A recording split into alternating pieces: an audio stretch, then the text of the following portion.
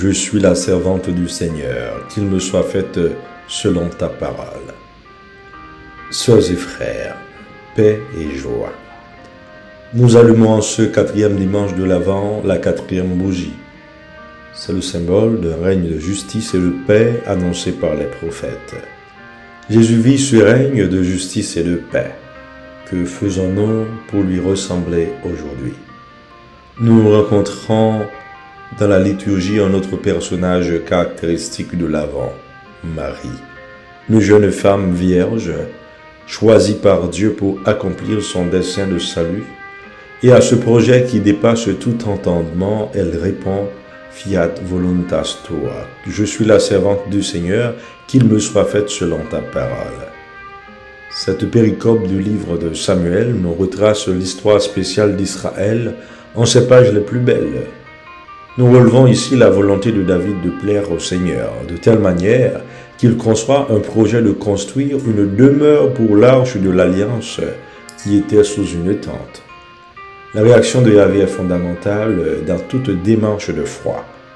L'initiative est toujours de lui. Il étonne et choque Nathan qui avait donné son accord au roi David.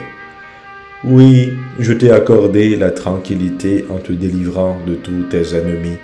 Le Seigneur t'annonce qu'il te bâtira lui-même une maisonnée.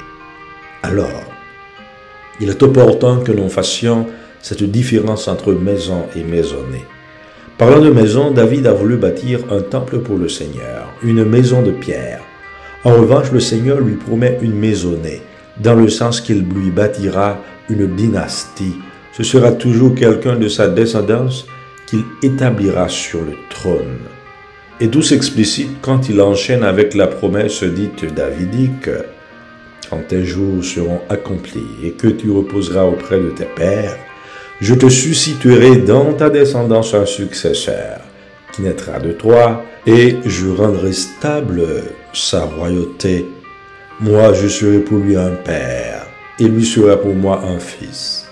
Ta maison et ta royauté subsisteront toujours devant moi. On en déduit que l'on peut compter sur le soutien indéfectible de Dieu à la dynastie qu'il a choisie.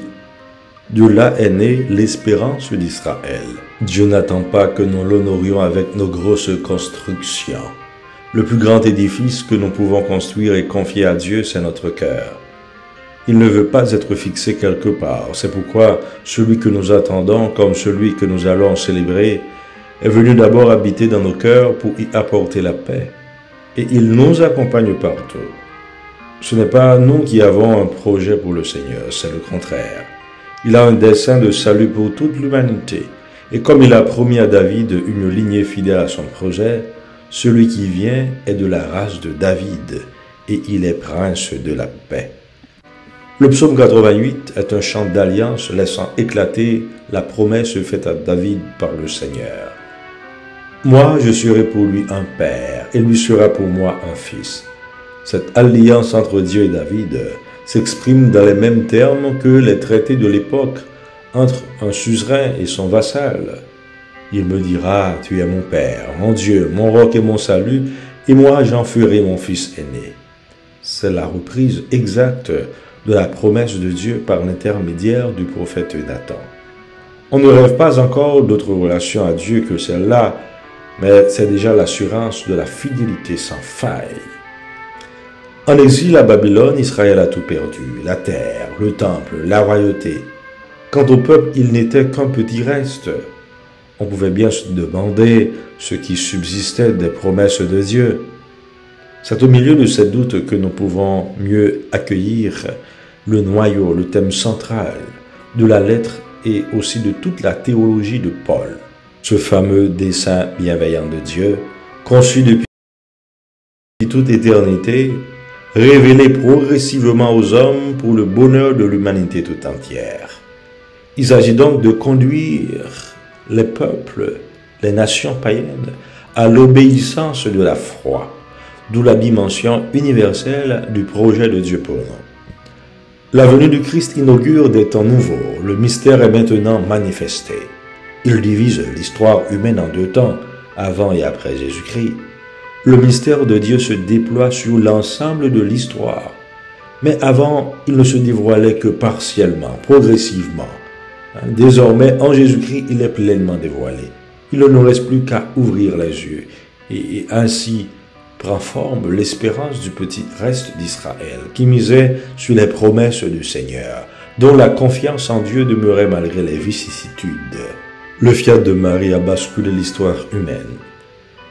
Elle est l'aboutissement de l'histoire humaine qui devient histoire du salut, car son oui porte l'empreinte d'une plénitude qui lui a valu une élection dès sa conception.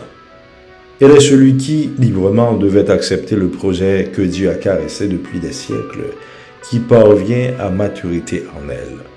Voici la servante du Seigneur, que tout m'advienne selon ta parole.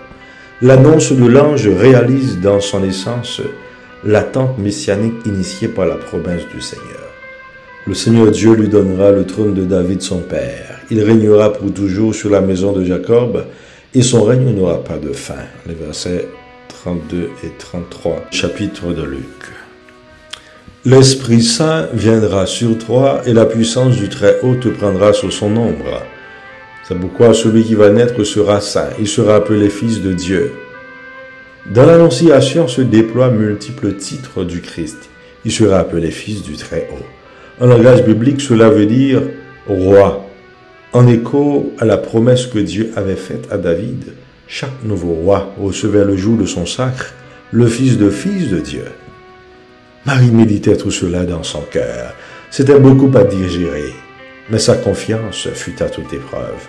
On savait que le Messie serait investi de la puissance de l'Esprit Saint pour accomplir sa mission de salut. L'écho de la prophétie d'Isaïe a traversé huit siècles. Un rameau sortira de la souche de Jessé, père de David, un rejeton jaillira de ses racines, sur lui reposera l'Esprit du Seigneur. Isaïe chapitre 11, les deux premiers versets. Ce qui nous introduit aussi dans une nouvelle création, l'Esprit qui renouvelle toutes choses. Grâce à ce oui de la jeune fille de Nazareth, le Verbe se fait chair et il vient habiter parmi nous. On entend ici résonner la lumineuse prophétie de Sophonie, pose des cris de joie, fille de Sion, éclate en ovation Israël. Réjouis-toi de tout ton cœur, bondis de joie, fille de Jérusalem. Le roi d'Israël, le Seigneur est en toi. Sophonie chapitre 3, les versets 14 et 15. Sœurs et frères, que notre attente soit comblée et que notre joie soit parfaite, car il vient le roi de nos cœurs pour y apporter la paix et la justice. Amen.